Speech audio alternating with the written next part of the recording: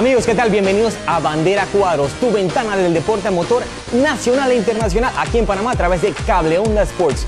Para este programa, la disciplina del motocross tiene protagonismo el día de hoy. Categorías como MX2, la categoría más importante, más rápida de Panamá, va a tener sus invitados también aquí en Bandera Cuadros. La categoría de Four Wheels, los pequeñines también verán acción en el programa del día de hoy.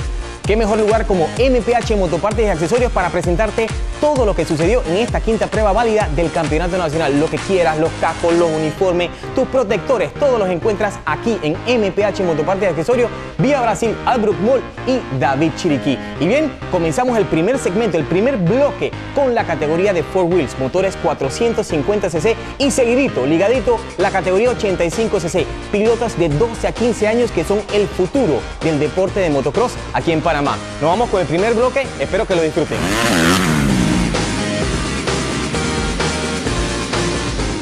Bandera cuadros, mis amigos, vamos con la primera manga del día de hoy en la categoría de los Four Wheels, motores de 450 centímetros cúbicos. Vemos cómo salieron los expertos por delante. Vimos al número 17, Giancarlo Salerno, una de las figuras principales de este Four Wheel. Mucha participación de corredores del interior de la ciudad de Santiago, principalmente de David Chiriquí también otra de las figuras este, vemos también de Azuero, también tenemos, ahí vemos número 17, Giancarlo Salerno, número 19, César Max Barriga también, que ocupa actualmente la tercera posición de este campeonato nacional, estaba en este momento circulando por una de, las áreas, una de las áreas eh, de la pista que tenía bastante eh, eh, humedad, ya que sí cabe destacar que en principio hubo algo de lluvia en la pista de Colonia. Vemos a Luis Ábrego de Santiago también, otro de los pilotos del equipo Thor de MPH también representando muy bien, es el actual líder de esta categoría de los Four Wheels, ya que Giancarlo Saleno, quien se vislumbra también como uno de los favoritos, tuvo que fallar a una de las fechas de agua dulce y eso automáticamente le abrió las puertas a Luis Ábrego para consolidarse en la primera posición, número 19, César Max Barriga a bordo de Kawasaki con el número 19, ¿verdad?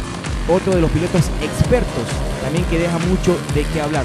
En antes estuvimos comenzando eh, algo sobre Giancarlo Saleno y cabe destacar también, y usted televidente debe saber, este piloto que vemos en pantalla ya nos ha representado en años anteriores en Costa Rica y ha dejado el país de Panamá muy en alto, ganándole a los pilotos ticos, algo que ningún piloto eh, panameño había logrado en la categoría experto, pues el número 16, Giancarlo Saleno, sí lo ha podido lograr en la categoría de los Four Wheels a bordo de su 450. Ahí lo vemos en la parte baja del circuito de Colonia, que había bastante lodo, había un suampo, ¿verdad?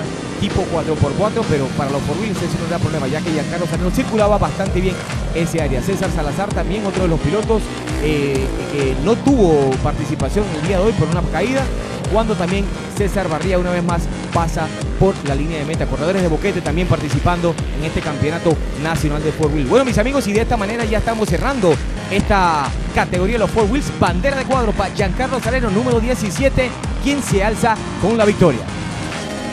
Y bien, mis amigos, lo que sigue es la categoría de los 85 centímetros cúbicos, una categoría de los jóvenes que están comenzando de 14 años en adelante. Y vemos ya la salida por delante el número 41, Luca Alessandría, un chiquito también eh, de que corre la categoría 65cc, bien seguido más atrás de el joven Mojica de Santiago. Una gran lucha se dio en esta categoría, en este día aquí en la pista La Colonia. 256 pasa en su motocicleta, que fue el ganador, dicho sea paso de las dos mangas el joven Mojica de Santiago, uno de los chicos que próximamente nos está representando en México.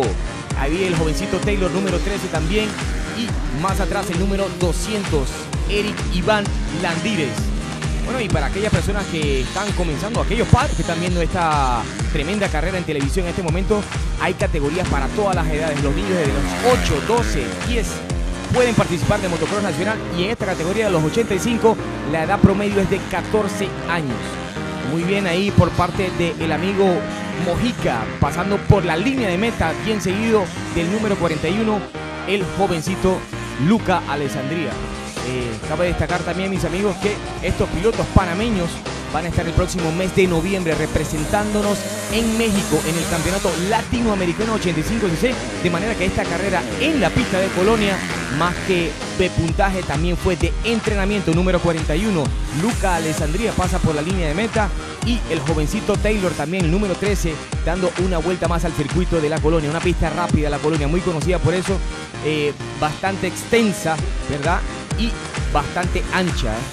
no tuvo problemas definitivamente Mojica en el día de hoy para lograr vencer, en este caso, al jovencito eh, Luca Alessandria. Número 25, Ruglianchi también de Panamá, oriundo de Panamá, otra de las figuras también que próximamente vamos a estar viendo por el progreso que tiene en los 85 cc. Número 200, Eric Iván Landires. Y bueno, mis amigos, más de los 85 cuando ya estamos cerrando la categoría y en cualquier momento la bandera de cuadro que da como ganador oficial a el joven Mojica, oriundo de Santiago. Realmente hay que quitarse el sombrero por estos pilotos de la categoría Four Wheels. Saltan tan alto, tan largo como las motocicletas. ¿Y qué les pareció en 85 Mojica?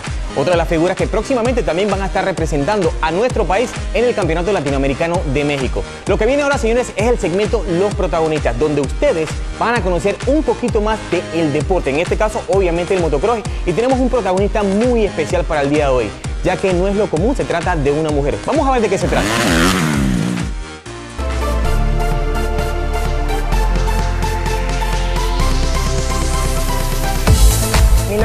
Yamileta Abrego, tengo 16 años. Estoy en la categoría MX2B en el Campeonato Nacional de Motocross UPM. Yamilet eh, ha sido una chica que llegó de casualidad en el deporte motocross. Eh, yo empecé en la temporada 2009 en la sexta vida que se hizo en el Trapillito de la Chorrera. Eh, ese mismo lugar, en, ese mismo, en esa misma pista, quedé segunda de esa carrera. Decidí competir más y empecé en, la temporada 2010 y en la cual quedé subcampeona nacional de motocross 85cc. Ahora en esta temporada 2011 eh, estoy en la categoría MX2B.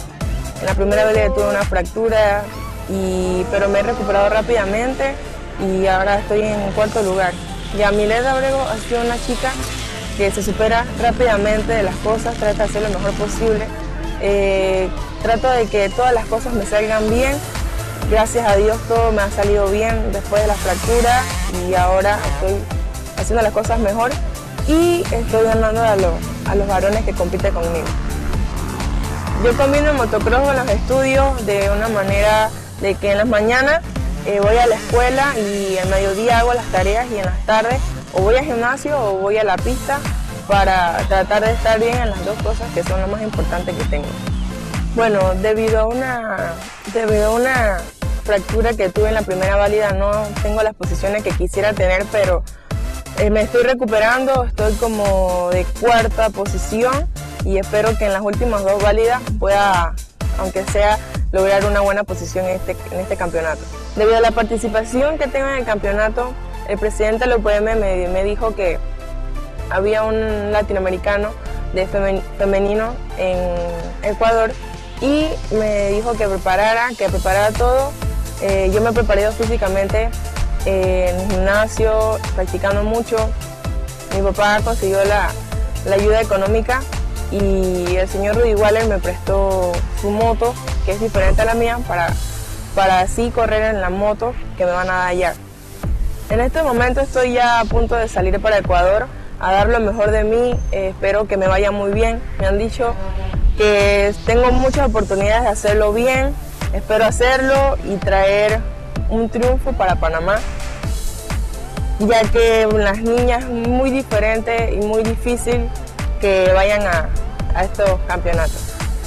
Bueno, es la persona en que yo más me inspiro y lo que más creo es mi padre, porque él fue el que me inculcó el deporte de motocross, es el que siempre me ha apoyado físicamente, eh, me apoya ya sea en el dinero, eh, me apoya psicológicamente, siempre me dice tú puedes, si te sientes bien, dale, si, si no te sientes bien, no te arriesgues, siempre es el que me apoya, al que le doy muchas gracias, principalmente a Dios porque era el que me ha dado un padre como él y también a él porque ha sido, él ha hecho todo el esfuerzo posible para, para estar en este deporte.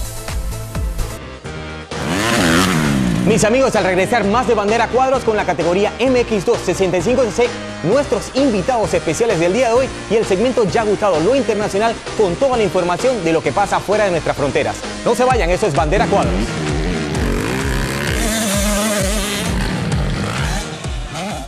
Moto se trata, MPH Motopartes lo tiene. MPH, la tienda más completa de accesorios para motos de todo tipo y four wheels de Panamá. MPH te ofrece las marcas más reconocidas: Trolley Designs, Ford, Icon, AGV, Bellray y Pirelli. Además, la línea completa de motos y four wheels Suzuki. Visítanos y deja que los expertos te asesoren. Contáctanos a través del internet en www.mphmotopartes.com. MPH Motopartes, expertos en motos. Vía Brasil, David Chiriquí y la nueva sucursal en Alto Mall.